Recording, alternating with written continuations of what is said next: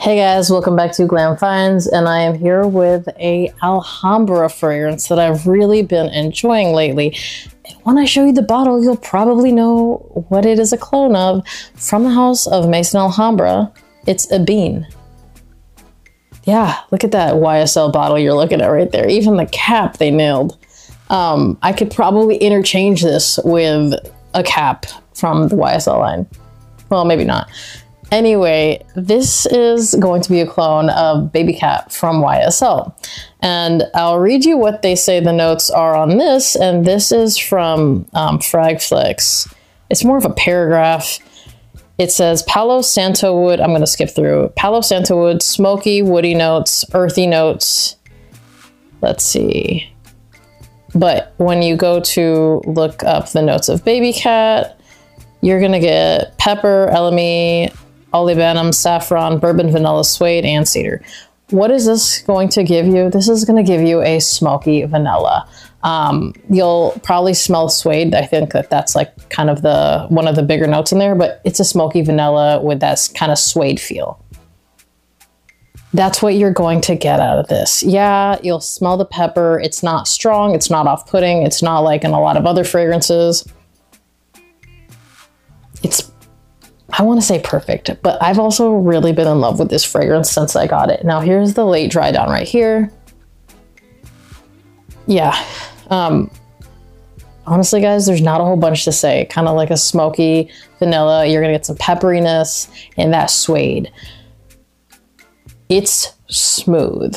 It's got just enough sweetness and I have to be so honest, they did a fantastic job with this fragrance. I got this in a haul of like, I think six bottles. This is probably one of my top two, if not my top one. It smells so good. Um, it's really hard not to like it. So if you're in the market for something in the baby cat realm, this is the second clone I've smelled uh, from, um, the second clone I've smelled of baby cat. I like this one more. I think the notes are very well balanced. Again, the pepperiness, the vanilla, the suede, and that kind of like smoky vibe. Perfect, perfect balance. Honestly, they did such a good job. This has no right to be this cheap. Performance. It is not a screamer by any means. Um, you're going to get a full workday You'll probably get between eight and nine hours, possibly up to 10 hours. However, it's going to project best in the first, I would say, hour and a half to two hours. But when I say project best, you're to get one to two feet. This has like a more intimate scent bubble. To be fair, I don't think that this is one that I'd want to be bursting off the skin. Um, and I'll tell you why when I talk about the occasions in which I feel is appropriate to wear this. I think that this has good performance for what it is. Um, I have never, I've only smelled the original. I, have never had like a sample of it. So like I was never able to test the performance of it. So I can't tell you if it's better or worse. I can tell you for how much I paid, I'm more than happy with this performance. So again, you're gonna get like pretty decent performance, pre pretty decent projection in the first about hour and a half, two hours. Again, maybe one up to two feet, really no more than that. Um, and then it's gonna sit a little closer to the skin. You're gonna get between eight and nine, possibly eight and 10 hours full longevity. Uh, I will also say this, I don't spray much and I do not spray my clothes. So if you spray your clothes, you'll definitely get more than that.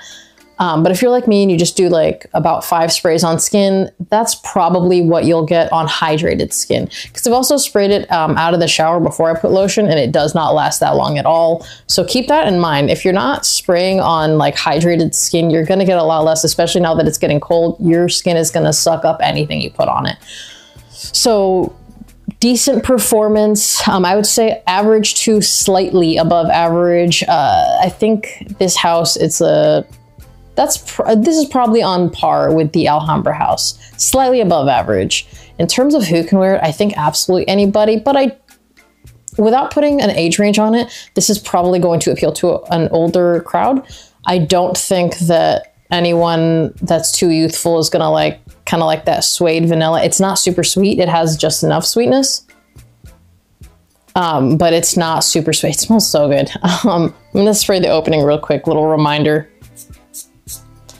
I really do like this bottle too. It's really simple and it looks like the YSL bottle. And I don't know if they're gonna change the bottle again, but they've been changing the name, so we'll see.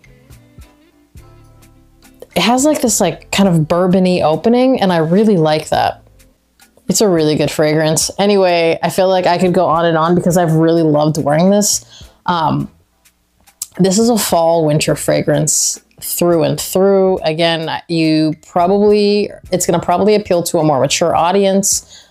No, no gender on this at all. I mean, I don't think Baby Cat has one either. They just, if you want to smell good, this is what you want to wear. Um, probably 25 plus. I want to throw that out there. Maybe less if you're really into scents like this, but probably not.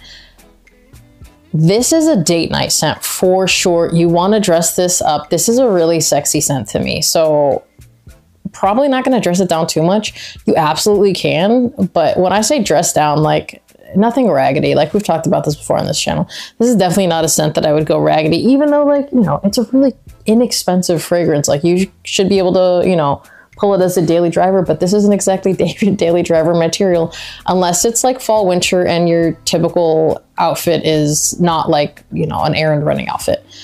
Um, yeah, I have errand running outfits, that's for sure. But I think that the bang for buck on this is incredible. This gets you compliments. Now, people need to be like in your kind of more intimate circle. So when I was greeting a friend, he was just like, I don't know what you're wearing, but I need to know. And I was like, that's cool. He was my fragrance buddy. So I pulled it out of my backpack because uh, we were meeting up and usually I bring like four or five things for him to smell anyways. Um, he said it was really, really good. I think they completely outdid themselves with this one.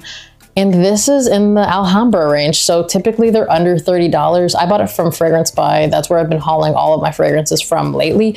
I will link it down below. And if I find it anywhere else for a comparable price, I'll link it down below there as well.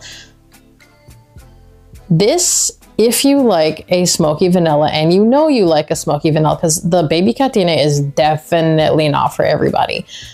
When I smelled the baby cat DNA the first time, I didn't care for it at all now that I'm really getting into these vanillas, now I like it. So know what you like before you order this because I don't think this is going to be for everybody. But in that $25 range, you cannot miss if you know that you're into something like this. I absolutely love it. If you've tried this, comment down below. Let me know what you think. As always, remember to like this video if you liked it. Be subscribed to my channel. Hit that notification bell to get notified when I drop another video. And I'll see you guys on the next one. Bye!